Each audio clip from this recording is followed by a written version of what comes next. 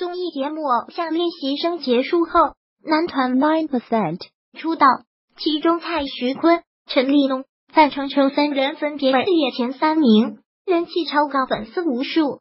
除了出道的男团外，作为导师的张艺兴也因节目落下“张 PD” 的称号，同时亦是可以说张艺兴是该男团的老师。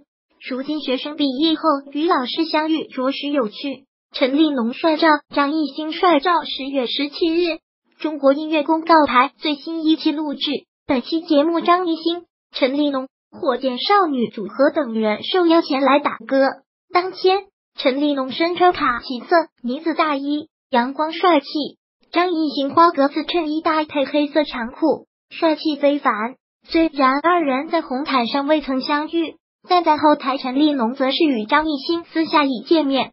陈立农接受采访活动后，陈立农接受媒体群访，被记者问及与张艺兴是否见面，陈立农则表示刚刚和他见面，以前在节目里面和 P D 是师徒关系，私下见面还是比较紧张了。此次作为新出道的歌手前来打歌，被问及舞台表现不同之处，陈立农则回道：演出和录音棚的差别，有时候演出的时候更加投射感情。应该是最大的差别。对于所唱的歌曲，陈立农则是回道：“希望他们安静聆听。这首歌是我跟我老板一起选的，和他一起作词的改动。它是一个单纯真实的一段情感。而对于舞台上没有提词器是否会忘词，陈立农则无辜表态：刚刚就没有提词器呀，十分可爱。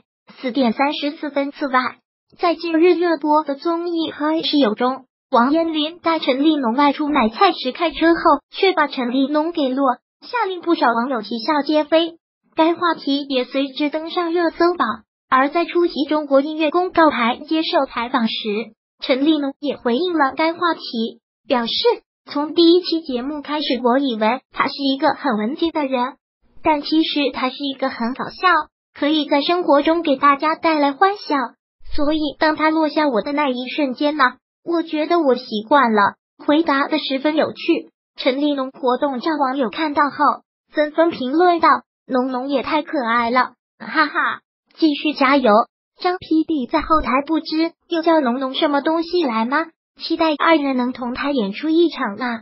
女团和张杰、胡彦斌、黄子韬等的还经常互动联系，男团和张艺兴、李荣浩等基本没啥联系了。原来农农这么可爱，你们觉得可爱吗？访问又越来越淡定，越来越进步了，宝贝真棒！